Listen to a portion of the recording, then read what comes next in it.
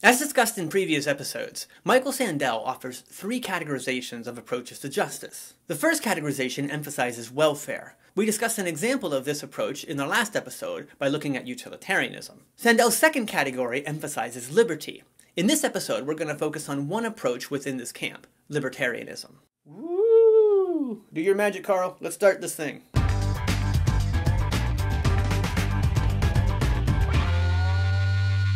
The first thing we should note about libertarianism is it's actually a pretty broad category. Sandel doesn't quite capture the variety of forms of libertarianism in his chapter, so we'll spend a few moments talking about it here. While all libertarians emphasize the importance of human liberty, some libertarians emphasize this important because they consider liberty a fundamental and inviolable human right, while other libertarians tend to focus on liberty because they think that emphasizing liberty will maximize welfare for the most amount of people. So it's a focus on liberty, but a more consequentialist approach. While all libertarians embrace a very strong notion of private property, libertarians will differ on the extent extent to which people can claim ownership over natural resources like water. While all libertarians believe that the role of the state, or government, should be limited, they differ on how limited that role should be. For example, anarcho-capitalists maintain that the state should be eliminated completely. In the United States, one of the more common forms of libertarianism is minimal state libertarianism. In this view, the role of the state is limited to protecting individual liberty by providing a police force, a court system, and a military. There are also liberal libertarians. These libertarians argue that the state does have a role in regulating the acquisition and transfer of natural resources, to ensure a more egalitarian distribution of these resources. In this episode, we're going to focus on minimal state libertarianism because that's the most common form in the United States. Sing it with me, Carl.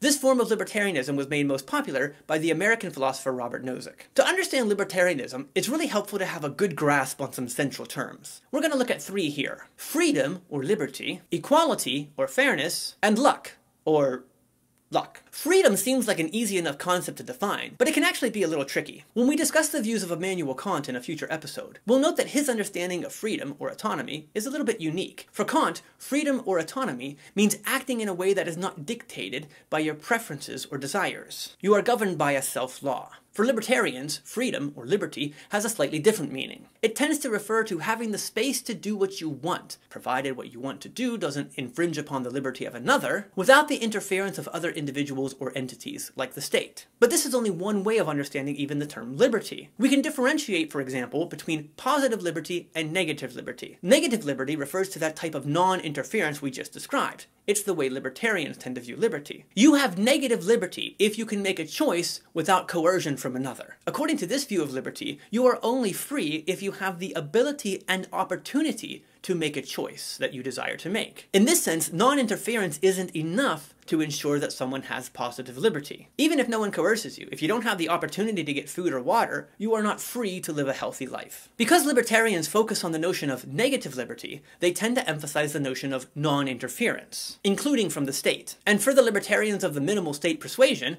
and really most libertarians, the state has no role in promoting the positive liberty of its individual citizens. In fact, if the state collects taxes in order to redistribute wealth and ensure that other people have equal opportunities, it commits a crime against the negative liberty of those citizens from whom it collects the taxes. If you've ever heard the expression taxation is theft, this is kind of the idea that's at work. The state cannot co-opt the private property of one citizen to give it to another citizen, even if they're just trying to ensure equal positive liberty. They can't do it because it's a violation of negative liberty to take someone's property. In future episodes, we're going to discuss other forms of justice, for example that of the political philosopher John Rawls, who emphasized that the state has an important role in promoting positive liberty. Another important term is equality or fairness. One caricature of libertarians is that they don't care about equality or fairness. This is a caricature because it depends on what we mean by the terms equality and fairness. When we say equality, for example, do we mean equal outcome or equal opportunity? And even if we agree on equal opportunity, what equal opportunity looks like will be different depending on whether we emphasize negative liberty or positive liberty. Libertarians reject the idea that a just society will lead to equal outcomes for its citizens. In fact, they tend to embrace the idea that a just society will lead to inequalities. However, they do argue that a just society must have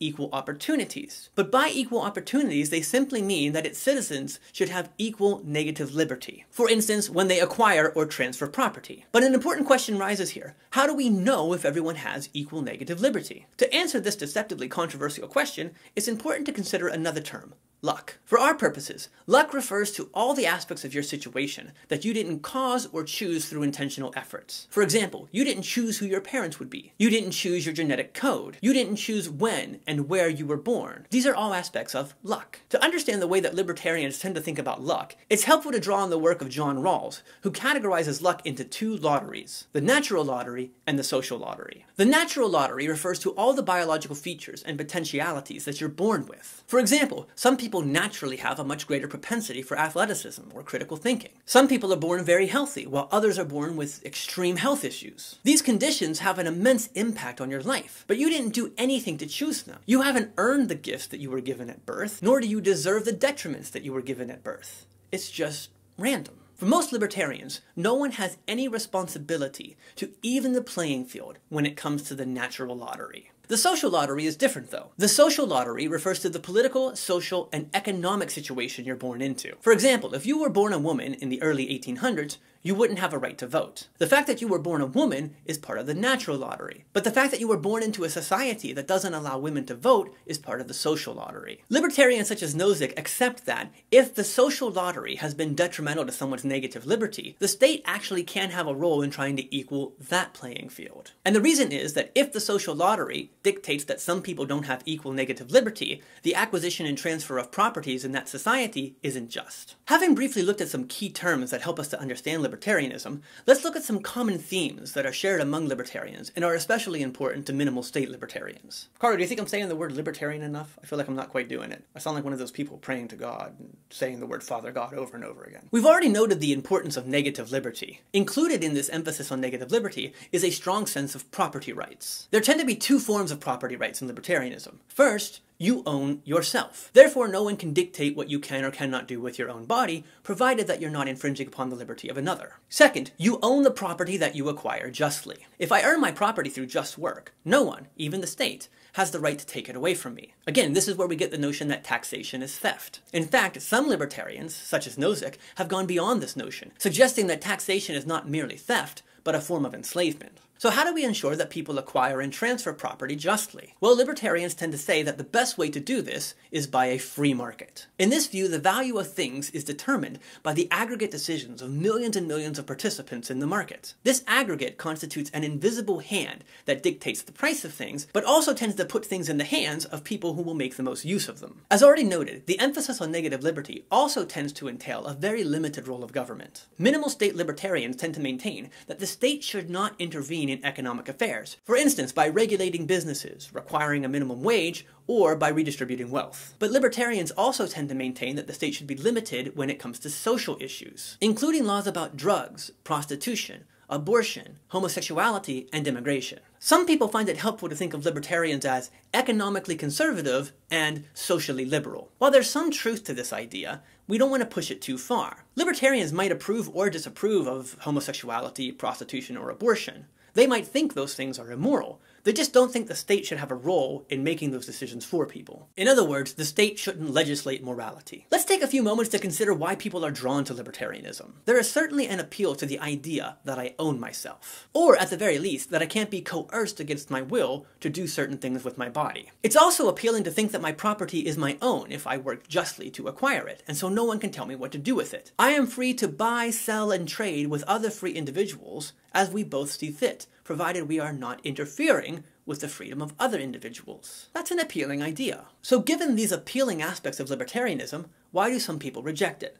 Let's take a look at some common criticisms. First, while the concept of self-ownership is appealing, it does raise some issues. First, if self-ownership is so sacrosanct that we can't do anything to violate the negative liberty of another, it would seem that we can't cause even the slightest inconvenience to negative liberty, even if it would mean securing the welfare of a lot of people. We can't hold someone still for even a moment, even if it would save lives. Or we can't force people to wear masks even in the middle of a pandemic. But if we allow these exceptions by saying that, well, self-ownership isn't that sacrosanct, then we have to figure out where we draw the line between what the state can force the self to do and what the state can't force the self to do. And that can be tricky. Self-ownership can raise another issue. If people are free to do whatever they want with their bodies, they can do ridiculously harmful things to their own bodies. Sandel raises the story of one man who allowed another man to kill and eat him. If we own ourselves, Aren't we allowed to allow ourselves to be killed by others and consumed by them? In other words, if we take libertarianism to its logical conclusion, why can't people engage in voluntary cannibalism? Second, libertarianism doesn't have any safeguards against the randomness of luck, especially with regard to the natural lottery. People who win the natural lottery will just have easier lives. And that's okay for most libertarians. But if some people have easier lives than others, can we really say that they deserve or they merit all the property that they acquire? Furthermore, those who are born with chronic health issues can't demand that anyone help them, even if that help would save their lives. According to libertarianism, we only have one obligation to one another, and that's to respect each other's negative liberty. But given how harsh the natural lottery can be, it seems intuitively problematic to suggest that we can all collectively turn our backs on someone who has a chronic health issue and consider that just. This is where the issue with positive liberty comes into play. One could argue that the at times radical inequalities that occur from the natural lottery deserve some focus or attention from the state. This idea is all the more poignant when we consider that libertarians like Nozick accept that libertarianism will in fact lead to inequalities, sometimes radical inequalities. Third, Nozick maintains that an unjust acquisition or transfer of property could merit reparations from the state. This point seems quite significant in the United States, but a lot of libertarians don't seem to notice it. For example, the coercive nature of some treaties that early Americans made with Native Americans doesn't quite meet the criteria of just acquisition of property, and the breaking of those treaties is certainly unjust. Another example is the history of slavery and segregation in America. According to a 2019 survey of consumer finances, the median household wealth of black families in the United States is about 15% of the median household wealth of white families. While the causes of this disparity are no doubt complex,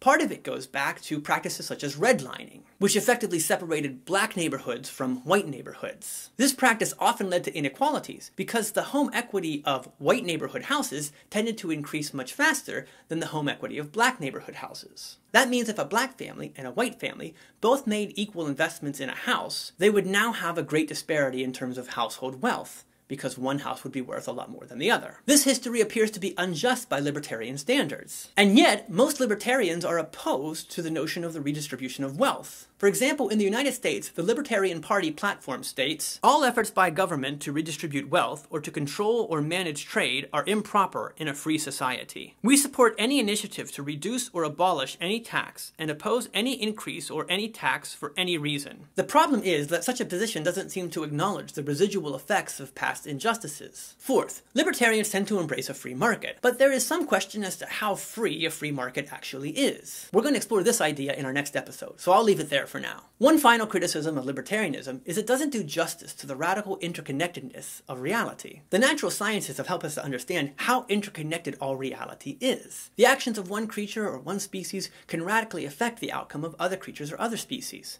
Human beings are no different. The actions of one individual or group will reverberate in the intricate web of relationships with others. In such a world, it may be myopic to focus solely on negative liberty. In this episode, we explored libertarianism. We highlighted the variety of forms of libertarianism, but we focused on minimal state libertarianism. We considered some central terms and common themes to this approach to justice. We also provided a brief evaluation of libertarianism. In our next episode, we're going to take a look at how different approaches to justice envision what a just market might look like. Until then, Farewell.